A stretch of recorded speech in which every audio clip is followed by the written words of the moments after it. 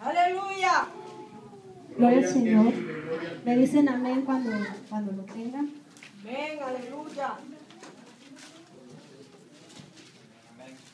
Todavía oigo por ahí unas hojas. Hay poder en Jesucristo, Señor. Amén. Gloria al Tú Señor. eres el Cristo que vive, Bendito Señor. Padre amado. Te es. resucitó, Padre eterno. Oh, bendito bendito. Dios. Recibe adoración, Señor. La palabra se lee en el nombre del Padre, del Hijo y de su Santo Espíritu. Amén, aleluya. Porque quiero que sepáis cuán gran lucha sostengo por vosotros y por todos los que están en la Odisea y por todos los que nunca han visto mi rostro, para que sean consolados sus corazones, unidos en amor hasta alcanzar todas las riquezas de pleno entendimiento, a fin de conocer el misterio de Dios el Padre y de Cristo, en quien están escondidos todos los tesoros de la sabiduría y del conocimiento. Y esto lo digo para que nadie os engañe con palabras persuasivas. Gloria al Señor. Gracias. Padre. Gracias. Gracias, Jesús. En este libro de Colosenses encontramos dos puntos principales donde el apóstol Pablo lo que él quiere es. Es luchar contra las falsas doctrinas. Gloria al Señor. Y quiere consolar a sus santos. Pueden sentarse, amados hermanos. Quiere él, consolar a los hermanos y a sus conciertos. Pero antes de entrar al, mensaje, quiero dar un, testimonio. Gloria al Señor. Esto ocurrió en, México, desgraciadamente creo que ocurre muchas veces en, todas partes del mundo. Yo, me encontraba en San Luis Potosí. Yo conocí a, una señora que ella era de Acapulco Guerrero. Acapulco es un lugar turístico donde hay mar, playa y grandes hoteles. Esta persona tenía un, eh, negocio de artesanías y le iba muy bien, tenía su familia, eh, todo iba excelente en su vida. Pero llegó competencia, se puso enfrente de ella una muchacha, una joven, y empezó a vender lo mismo que ella.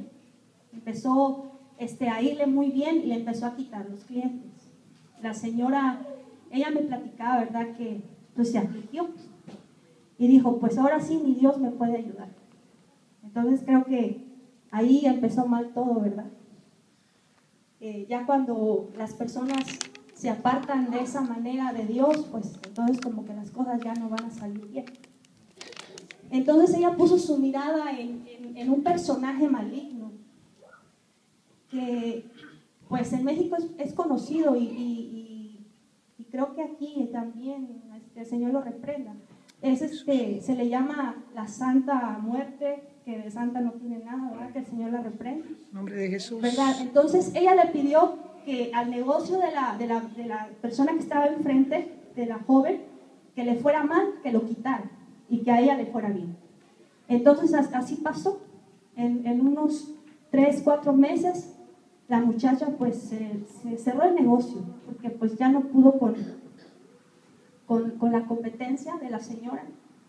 Entonces la, la señora estaba feliz. Entonces dijo, ese personaje que no conviene mencionar, dijo, me hizo el milagro.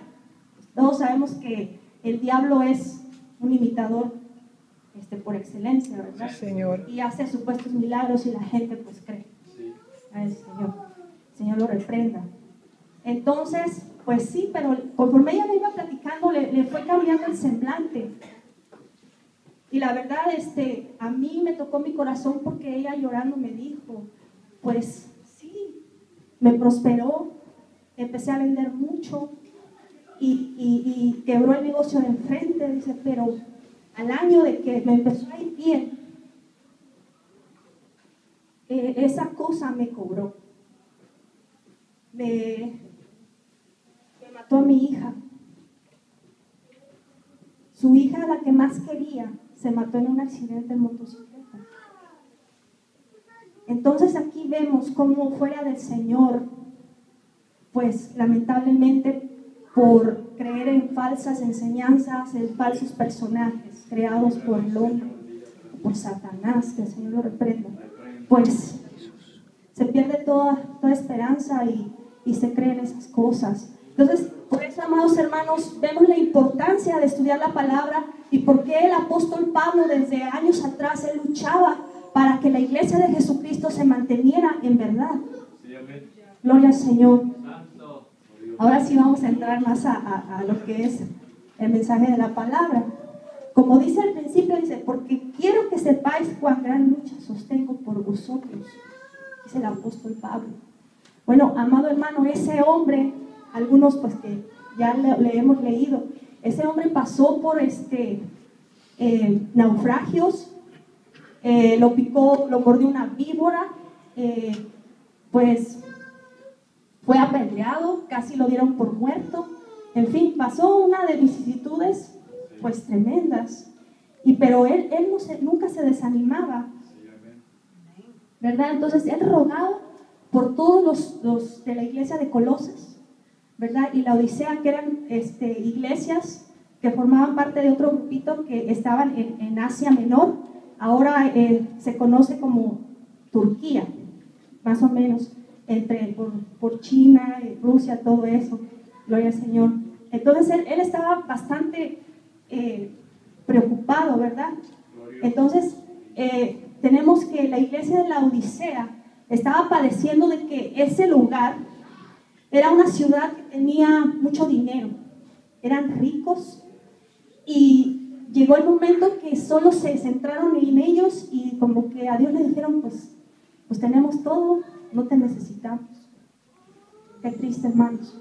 Creo que ahorita en este tiempo muchas iglesias se están preocupando por levantar grandes edificios, ¿verdad? Lujosos, con tanta atención para la gente, tanta distracción, qué, qué sé yo, pero pues no, no de la palabra, pues nada. Y, y se, y se gozan en, en- en la prosperidad. Ahorita está esa doctrina demasiado fuerte, el Señor también lo reprenda.